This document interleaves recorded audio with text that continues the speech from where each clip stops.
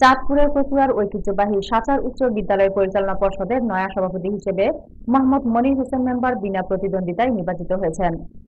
রবিবার বিকেলে এই উপলক্ষে উপজেলা একাডেমিক সুপারভাইজার মোহাম্মদ আহসানুল হকের সভাপতিত্বে সাধারণ সভা অনুষ্ঠিত হয়। বিদ্যালয়ের ম্যানেজিং কমিটির সদস্য মোহাম্মদ জাহাঙ্গীর দেওয়ান, এ বিদ্যালয়ের সভাপতি পদে মোহাম্মদ মনির হোসেন মেম্বার পদে প্রস্তাব করলে অপর সদস্য মোহাম্মদ আব্দুল খালেক তালুকদার সমর্থন করেন। এবং সংরক্ষিত মহিলা সদস্য হাসিনা আক্তার উক্ত সকল ভোটারদের পক্ষ থেকে তা পুনরায় সমর্থন করলে আর কোনো প্রার্থীর নাম না থাকায় তাকে এই পদে মনোনীত করা হয়। এ সময় সাঁচার ডিগ্রি কলেজের অধ্যক্ষ নুরুল আমিন তালুকদার, অধ্যাপক আবু ইউসুফ সরকার পবন, বিদ্যালয়ের প্রধান শিক্ষক বটু কৃষ্ণ বসু, দাতা সদস্য মিন্নত আলী তালুকদার মিনু, সাবেক ইউপি সদস্য ও বিশিষ্ট সমাজসেবক আবুল বাসার কচুয়া প্রেস ক্লাবের সভাপতি রাকিবুল হাসান সহ অন্যান্যরা উপস্থিত ছিলেন।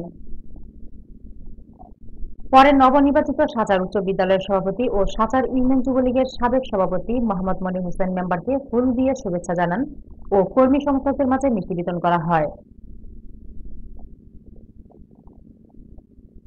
চাঁদপুর, কচুয়া থেকে বিল্লাল মাসুমের পাঠানো তথ্যচিত্রে একাত্তর বাংলা নিউজ সবার আগে সর্বশেষ সংবাদ পেতে ভিজিট করুন একাত্তর বাংলা ডট টিভি। লাইক দিন আমাদের Facebook page Facebook dot com slash একাত্তর Bangla dot TV dot BD ইউটিউবে সাবস্ক্রাইব করুন ইউটিউব ডট কম স্ল্যাশ একাত্তর বাংলা টিভি